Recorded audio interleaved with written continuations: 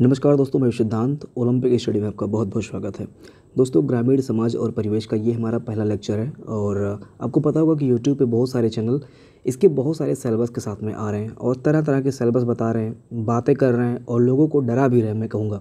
इससे क्या हो रहा है कि बच्चों के मन में एक डर उत्पन्न हो रहा है और वो डर के सिर्फ़ और सिर्फ़ ग्रामीण समाज और परिवेश पे फोकस कर रहे हैं। वो भूल जा रहा है कि 90 परसेंट कोर्स हमारा जो है किसी और सब्जेक्ट का है और ये सिर्फ़ 10 परसेंट है, ठीक है? तो मैं आपको पहली बात कंफर्म कर दूँ कि आपको सारे सब्जेक्ट्स का जो वेटेज है इसको साथ में लेके चलना है। कहीं ऐसा ना हो कि आप सिर्फ़ एक को पढ़ो और ये आपका छूट जाए, ठीक है? तो आप ध्यान दीजिएगा कि सारे सब्जेक्ट्स को बैलेंस फॉर्म में लेके चलें, ताकि आने वाले टाइम में ऐसा ना हो कि आप इस पर कमांड कर लो और जो दूसरे सब्जेक्ट्स हैं, वो आपसे छूट जाए, ठीक है? और, चलिए ठीक है, बहुत ज़्यादा समझाऊँगा नहीं, आप तो वैसे भी समझदार होंगे। पेड का एग्ज़ाम क्वालिफाई किया तो अब बेसी बात है, कहीं ना कहीं आप समझदारी होंगे। तो ये हमारा पहला लेक्चर है ग्रामीण समाज और परिवेश का विकास का, जैसा कि आप समझ सकते हैं। और इस लेक्चर में हम इसके सेलेबस के बारे में डिस्कसन करेंगे। मेनली इसमें क्या क्या पूछा जा सकता है। देखिए, अगर आपको मैं बता दूँ, अगर आप शॉर्ट टाइम में इस टॉपिक को क्लियर करना चाहते हैं तो मैं जो टॉपिक बताऊँगा, आप उतना पढ़ लेंगे, तभी आपके दस मार्क्स आ जाएँगे। जैसा कि इसमें ये जो भूमि पैमाइश, भूमि मापन और पैमाइश करके है, ये आप पढ़ सकते हैं। इसके बाद में भूमि से संबंधित संबंधित दस्तावेज़, खसरा, खतौनी, गिरदावरी, जमाबंदी है, इसको भी आप पढ़ सकते हैं। इसके बाद में ये ग्राम पंचायत आप पढ़ लीजिएगा। केंद्र और उत्तर प्रदेश की योजनाएँ आप पढ़ सकते हैं। और यूपी स्पेशल ये अलग टॉपिक है, आपको पता होगा। इसका क्लास मैं ऑलरेडी ले रहा हूँ। दो तीन क्लास दो तीन लेक्चर मैंने अपलोड कर दिया है। आप जाके देख सकते हैं। और इसमें मैंने पीडीएफ नोट्स भी प्रोवाइड करा रखा है। तो आप जाके टेलीग्राम पे भी इसको ज्वाइन कर सकते हैं। इसके बाद में आप ये भारत की जनगणना और उत्तर प्रदेश की जनगणना दोनों को कंपेयर करके पढ़ लीजिएगा। और रही बात एक चीज़ और यहाँ पर दिया गया है। ये है कृषि तथा योजनाएँ। क्या है कि यूपी का पेपर है लेखपाल का पेपर है और लेखपाल का जो वर्क है वो कृषि फ़सल को लेके है, उनके मापन को लेके है, उनकी योजनाओं के बारे में है तो आप आपसे ये टॉपिक छूटने ना पाए। एक नंबर या दो नंबर का ये हंड्रेड परसेंट आना ही आना है, ठीक है? इसके बाद में हम बहुत सारे मॉक टेस्ट वगैरह को देखेंगे और विविध प्रश्नावली और वन लिनियर क्वेश्चन जो भी जहाँ से भी क्वेश्चन पूछता है, इसके बारे में हम डिटेल में चर्चा कर लेंगे, ठीक है? तो बस इतना ही पढ़ना है, बहुत ज़्यादा नहीं है और आपको डरने की ज़रूरत नहीं है। कुछ आप हवा मत बनाइए, जैसा कि मैंने वीडियो एक अपलोड कर दिया है, उस आपके जो अंदर डर है इस टॉपिक को लेके, इसके परिप्रेक्ष्य में मैंने एक वीडियो भी डाल रखा है, उसको भी आप जाकर देख सकते हैं। तो दोस्तों, जिस एग्ज़ाम की आप तैयारी कर रहे हैं, आइए थोड़ा सा उसके विषय में जान लेते हैं कि लेखपाल और पटवारी एक्चुअल में है क्या, इसकी थोड़ी सी हिस्ट्री समझ लेते हैं। कि एक्चुअल में निकल के सामने आया कहाँ से? देखिए, अगर आप इसकी हिस्ट्री के बारे में जाएँगे तो जो शेरशाह सूरी का शासनकाल था, वहाँ पर ये इंट्रोड्यूस हुआ था, ठीक है? इसके बाद में शेरशाह सूरी के शासनकाल में ये किसके द्वारा किया जा रहा था? हैंडल किसके द्वारा किया जा रहा था? ये पद, ये थे टोडरमल, ठीक है? टोडरमल के द्वारा ये पद हैंडल किया जा रहा था। ध्यान दीजिएगा क्वेश्चन दो तरह से पूछ सकता है कि किसके शासनकाल में ये इंट्रोड्यूस हुआ था? तो शेर शाह सूरी के शासनकाल में ये इसके इसके प्रारूप को ला के इंट्रोड्यूस कराया गया था और ये किसके द्वारा हैंडल किया जा रहा था? ये टोडरमल के थ्रू हैंडल किया जा रहा था। मतलब वो लेखपाल थे, आप बोल सकते हो, ठीक है, उस टाइम के। और इसका जो पद विस्तार है, थोड़ा सा इसमें जो काम वगैरह है, उसको बढ़ाया गया, चीज़ों को डिटेल में किया गया, है ना? ये सब किसके टाइम पे किया गया था? ये सब अकबर के टाइम पे किया गया था। तो ये रहा इसका थोड़ा सा हिस्ट्री थोड़ा सा बैकग्राउंड कि कहाँ से ये चीज़ें निकल के आई। अब आइए, आजकल जो चल रहा है, आजकल जो लेखपाल के डेफिनेशन है, इसको देख लेते हैं। कभी कभी क्वेश्चन में डेफिनेशन भी पूछता है। आप इसको आसानी से मत लीजिएगा। घुमा के थोड़ा देखता है, देता है एग्ज़ाम में। ए, ये है, बी, ये है, सी, ये है तो लास्ट में दे देगा ए और बी दोनों है। बी सी दोनों जैसा कि आप कई सारे एग्ज़ाम में पाए होंगे इस चीज़ को। तो कोडिंग करके देता है तो डेफिनेशन आप थोड़ा सा देख लीजिए, ज़्यादा नहीं पढ़ाऊँगा डेफिनेशन के बारे में बट हाँ थोड़ा सा जान लीजिए कि एक गाँव स्तर का अधिकारी होता है। अभी मैं आगे थोड़ा सा और डिटेल में कर दूँगा, फ़िलहाल आप ये समझ लीजिए कि एक गाँव स्तर का अधिकारी होता है। अगर कुछ इस तरह से चीज़ें आ रही हैं सहार का नाम ले ले रहा है तो आप उसको इग्नोर कर सकते हैं वहाँ पर ठीक है? तो ये गाँव स्तर का अधिकारी होता है, आप ये समझ लीजिए। इसके बाद में इसका जो उल्लेख है, लेखपाल पद का जो उल्लेख है, ये उत्तर प्रदेश भूलेख राजस्व अधिनियम धारा तेईस के अंतर्गत है इसका उल्लेख, ठीक है? तो ये चीज़ें भी पूछ सकता है कि इसका उल्लेख कहाँ पे है? तो ये धारा तेईस के अंतर्गत इसका उल्लेख किया जाता है। अच्छा लेखपाल की जो नियुक्ति है, ये किसके माध्यम से होता है? ये लेखपाल की जो नियुक्ति होता है, ये उत्तर प्रदेश लेखपाल सेवा नियमावली 2006 के माध्यम से होता है, ठीक है? जिनकी नियुक्ति का प्रावधान है, जो चीज़ें बताई गई हैं, वो 2006 उत्तर प्रदेश लेखपाल सेवा नियमावली के अंतर्गत की जाती हैं, ठीक है? अच्छा एक क्वेश्चन कभी कभी पूछ लेता है कि लेखपाल का ट्रांसफ़र कौन करता है? तो लेखपाल का जो ट्रांसफ़र है, वो एसडीएम करता है। पिछले वीडियो के पेपर में ये पूछा गया था। वीडियो के पेपर में ये क्वेश्चन डाल गया था कि लेखपाल का ट्रांसफ़र कौन करता है? तो लेखपाल का जो ट्रांसफ़र है, वो एसडीएम करता है। और ताजुब की बात है कि ऑप्शन में एसडीएम था ही नहीं। ऑप्शन में क्या दे दिया था? परगना अधिकारी। अब लेखपाल का पेपर है तो इसमें कहीं ना कहीं शब्दावलियाँ ऐसी दे देता है कि आप को शायद वो चीज़ें अगर इंग्लिश में ट्रांसलेट करके दे देगा तो आप समझ जाओगे। लेकिन वहाँ पे परगना अधिकारी करके दिया था तो बहुत सारे बच्चे कन्फ्यूज़ हो गए थे वहाँ पे भी, ठीक है? सो दोनों चीज़ जानना आपके लिए ज़रूरी है, परगना अधिकारी और एसडीएम दोनों, ठीक है? एसडीएम कौन होते हैं? जो उप जिलाधिकारी होते हैं, उनको हम एसडीएम बोलते हैं, ठीक है? सब डिस्ट्रिक्ट मजिस्ट्रेट ओके सो थोड़ा सा इधर देख लेते हैं और क्या है, क्या नहीं है इसके बारे में।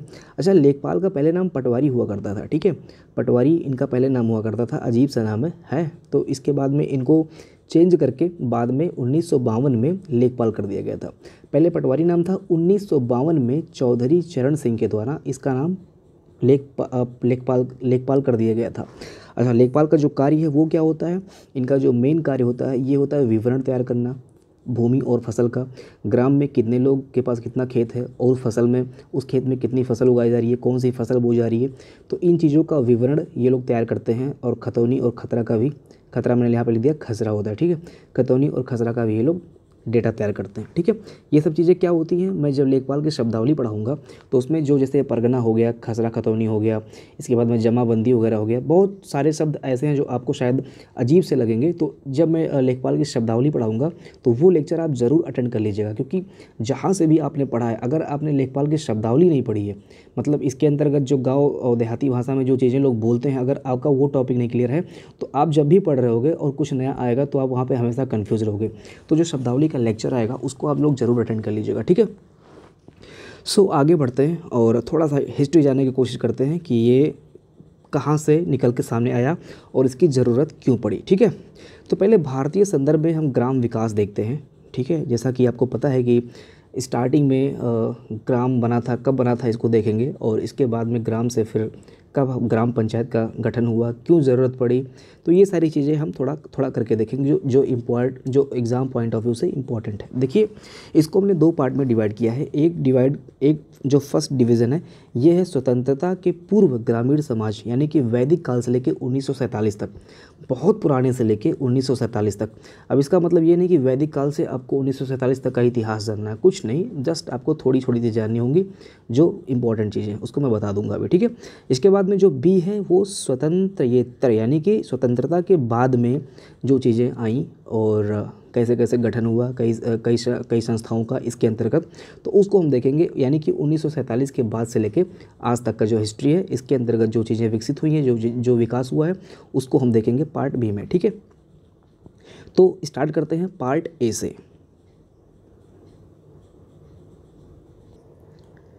तो पार्ट ए से नहीं बोल के आप पॉइंट नंबर ए मान के चलिए। ये पॉइंट नंबर ए पहले हम देखते हैं, ठीक है? तो ग्राम शब्द का जो उल्लेख मिलता है, ये वैदिक काल में ही मिल जाता है। ग्राम शब्द बहुत पुराना है, आज का नहीं है। वेदों में इसका चर्च, इसकी चर्चा हुई थी। आप सोच सकते हो कि कितना पुराना शब्द है ग्राम, ठीक है? अच्छा पहले के टाइम में जो ग्राम के अधिकारी होते थे, अधिकारी नहीं, जो ग्राम प्रधान आप बोल सकते हो, जो कि आज ग्राम प्रधान बनते हैं पाँच साल के। हालाँकि उस टाइम पे तो नियम अलग ही हुआ करते थे, लेकिन जो ग्राम प्रधान हुआ करता था उस टाइम पे, उसको बोलते थे ग्रमड़ी ठीक है? अच्छा ग्रमड़ी का जो काम था, जैसा कि आजकल बहुत सारा काम दे दिया गया है, ये करो, वो करो, बहुत सारी चीज़ें आजकल जो आधुनिक टाइम में है, वो पहले नहीं थी। पहले के टाइम में जो ग्रमणी था, वो एक तरह से जो चोर डाकू हुआ करते थे और जो बाहरी शत्रु हुआ करते थे, वो जब अटैक करते थे, इसके बाद में मतलब बहुत सारे जो गाँव का, गाँव में जो लोग अपराध करते थे, उनको दंड देना, इसके बाद में अपने गाँव की रक्षा करना और ग्राम समाज में जो चीज़ें, पंचायतें होती हैं, उस टाइम पे उनको बुलाना, ये सारी चीज़ें ग्रामणी उस टाइम पे करता था। तो ये बेसिक बेसिक चीज़ें थी और इसमें कोई जो बुज़ुर्ग लोग होते थे ना, उनको अपॉइंटमेंट किया जाता था, जो जिनका एक्सपीरियंस हुआ करता था। तो उन चीज़, उन लोगों को अपॉइंटमेंट करके ग्रमड़ी बना दिया बना दिया जाता था और वही गाँव की सारी समस्याओं को, समस्याओं का समाधान करते थे। इसके बाद में जो एमसी डोनाल्ड हैं, इन्होंने, इनके अनुसार जो है, ये पद कभी वंशानुगत, कभी नामित या निर्वाचित, तीनों हुआ करता था। जैसा कि आपको पता है कि अभी थोड़ा सा क्या करते हैं हम लोग? अध्ययन करते हैं पुरानी चीज़ों का। तो उसमें एम सी डोनाल्ड जो थे, इन्होंने बताया कि ये जो पद था मतलब ग्रमणी का पद था, ये वंशानुगत पिता कभी कभी नामित किया जाता था या फिर कभी कभी निर्वाचित भी किया जाता था। इसके बाद में जब मध्यकाल आया, बस आपको वेदास में इतना ही पढ़ना है। मतलब प्राचीन की अगर आप बात करोगे तो आपको जस्ट इतना ही पढ़ना है। इसके बाद में मध्यकाल आता है। मध्यकाल में देखिए, जो नेहरू थे इनके अनुसार ग्राम पंचायत तब भी बनी रही। मध्यकाल में जो नेहरू जी थे, इन्होंने बोला कि ग्राम पंचायत तब भी बनी रही। मध्यकाल मतलब ये जो तुर्क तुर्क अटैक हुआ था, मुस्लिम अटैक हुआ था, दिल्ली दिल्ली सल्तनत थी, उस टाइम का जो काल था, उसको मध्यकाल बोलते हैं, जैसा कि आपको पता भी होगा।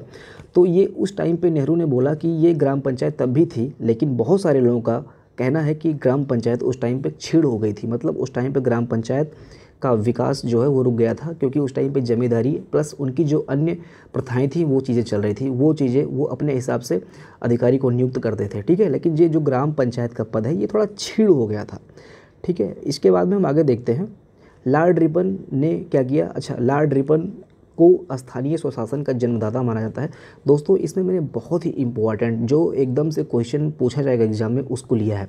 तो अगर मैं यहाँ पर डिटेल में सारी चीज़ों को समझाऊँगा तो हिस्ट्री में हम नहीं जाएँगे। अगर हम लाड रिपन के बारे में बात करेंगे, इनका कार्यकाल क्या था, ये बात करेंगे तो वो थोड़ा हिस्ट्री पॉइंट ऑफ़ व्यू से वो चला जाता है।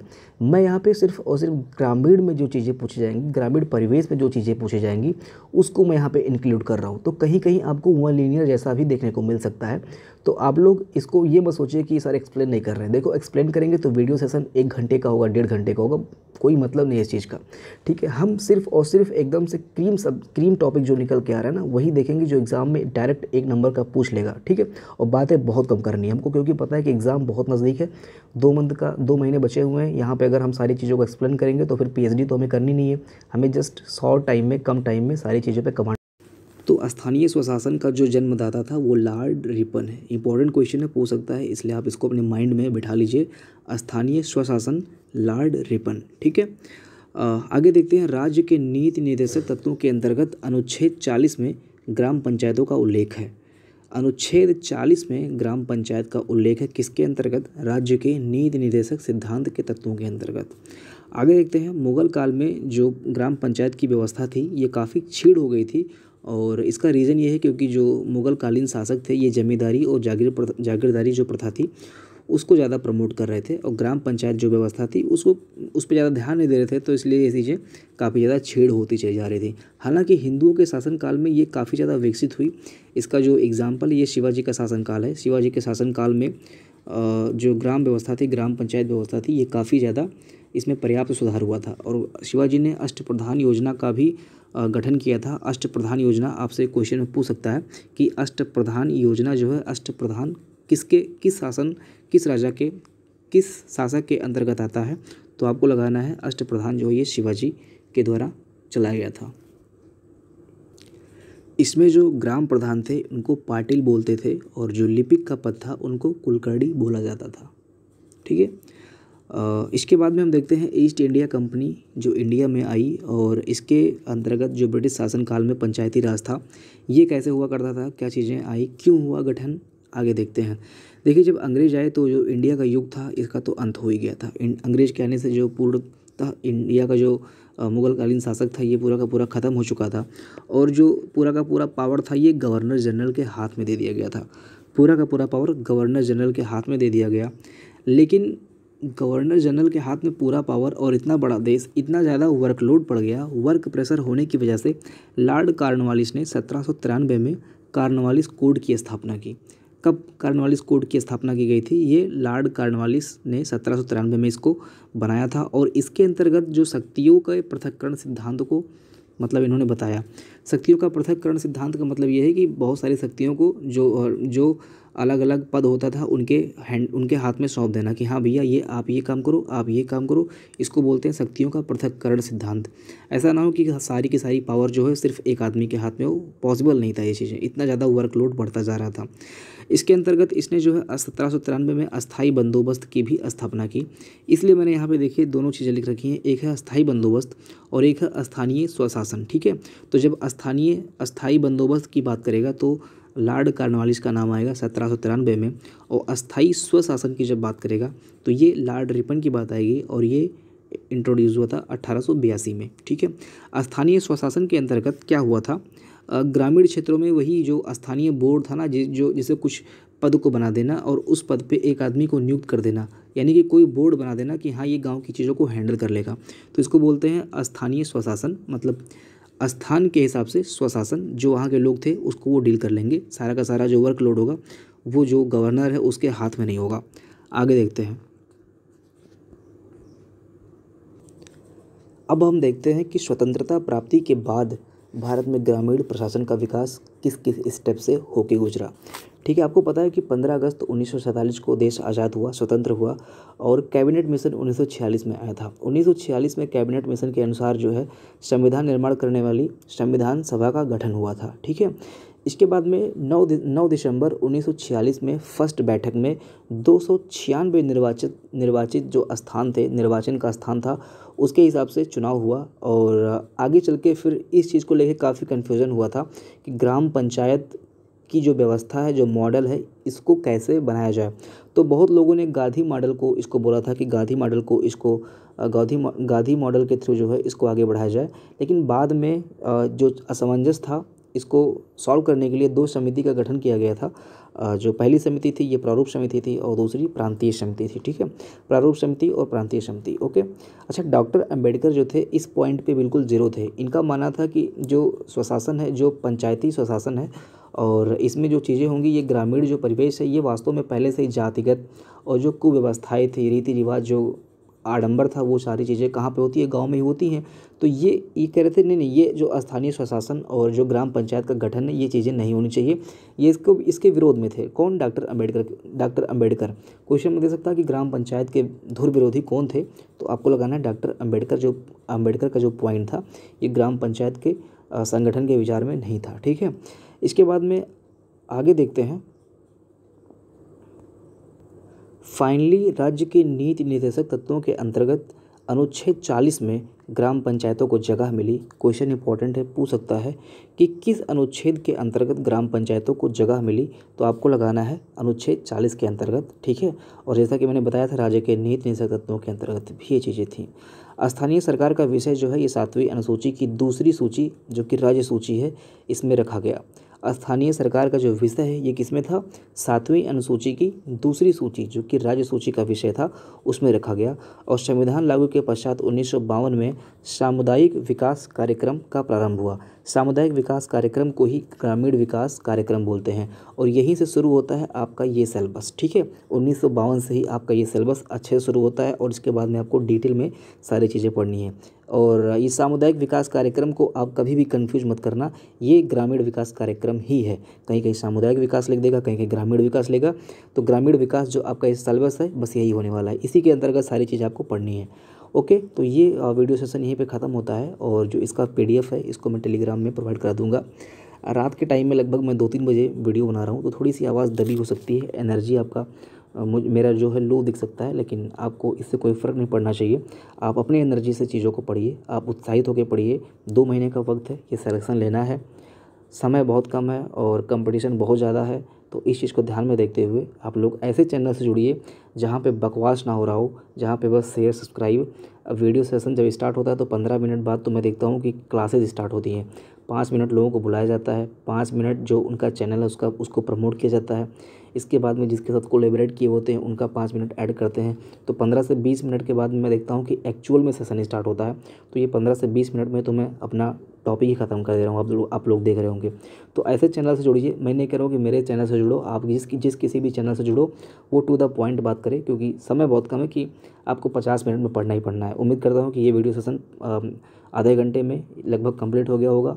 या पैंतीस मिनट में कंप्लीट हो गया होगा और जो इंट्रोडक्शन पार्ट है और जो सिलेबस है, ये भी आपको पता चल गया होगा।